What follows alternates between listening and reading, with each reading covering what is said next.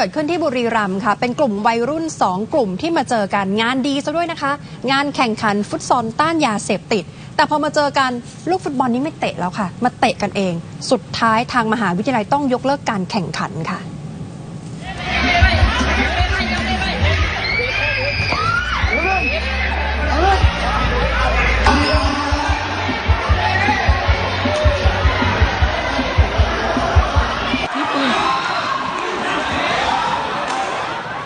หันมาเตะกันเองซัดกันนัวแบบนี้คะ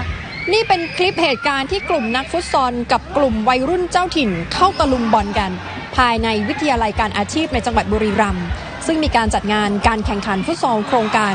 การแข่งขันฟุตบอลเยาวชนต้านยาเสพติด เหตุการณ์เกิดขึ้นเมื่อวันที่ 18 ธันวาคมที่ผ่านมา เหตุการณ์นี้โอ้โห คนมาร่วมงานตกใจสิคะคุณแบงค์อืมวิ่งครับหนีตายกันโอลหมาน เพราะว่ามีการชักปืนขึ้นมาขู่ด้วย โอ้ อีกแล้ว มาเล่นกีฬามาแข่งขันงานกีฬาแต่พกอาวุธมาด้วยคุณแบงค์ ครับ โอ้โห ผู้ชมก็อยู่ไม่ไหวค่ะต้องวิ่ง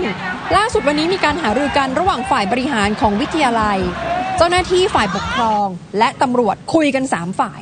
ก่อนที่ทางรองผู้อำนวยการวิทยาลัยได้ทำหนังสือประกาศเลยนะคะ เพื่อป้องกันเหตุการณ์ความรุนแรง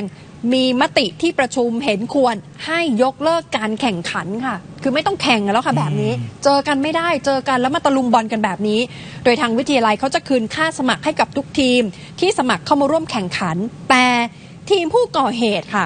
ทางวิทยาลัยเขาบอกอาจจะพิจารณาไม่คืนเงินให้นะอืมเพราะถือว่าคุณเนี่ยเข้ามาสร้างความวุ่นวาย แล้วเดี๋ยวเขาจะไปเช็คด้วยตรวจสอบความเสียหายเท่าไหร่คิดไว้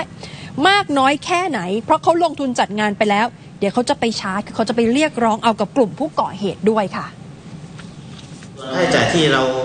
เอ่อดำเนินงานไปแล้วนะครับได้ปรึกษากับทางคณะกรรมการทั้งหมดแล้วว่า เราคงต้องอปรึกษาทางสพสตึกว่าเราจะมีช่องทางไหนที่จะดำเนินการได้บ้างเกี่ยวกับทีมแข่งขันที่เขาร่วมแข่งขัน แล้วก็ก่อเหตุและก็ผู้ก่อเหตุ ด้านตำรวจสพสตึก ติดตามกลุ่มวัยรุ่นที่ก่อเหตุได้ 3 คนนะครับ อายุแค่ 15ถึง17 ปีเท่านั้นเอง ยังเป็นเยาวชนอยู่เลยนะครับค่ะเป็นกลุ่มนักกีฬาที่ปรากฏในคลิป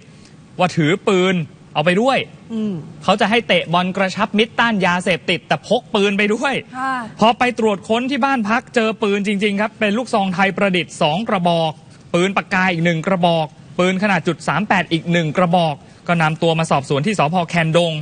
ส่วนสาเหตุที่พกปืนไปด้วยเขาอ้างว่ากลัวว่าจะได้รับอันตราย พกปืนเพราะว่าเนี่ยนะ เออพกปืนไปด้วย กลัวว่าเดี๋ยวจะโดนทำร้าย เพราะว่าเคยมีเรื่องกับเจ้าถิ่นมาก่อน อืมก็เลยพกไปหน่อยอ้างโอ้ไปเรื่อยนะคะ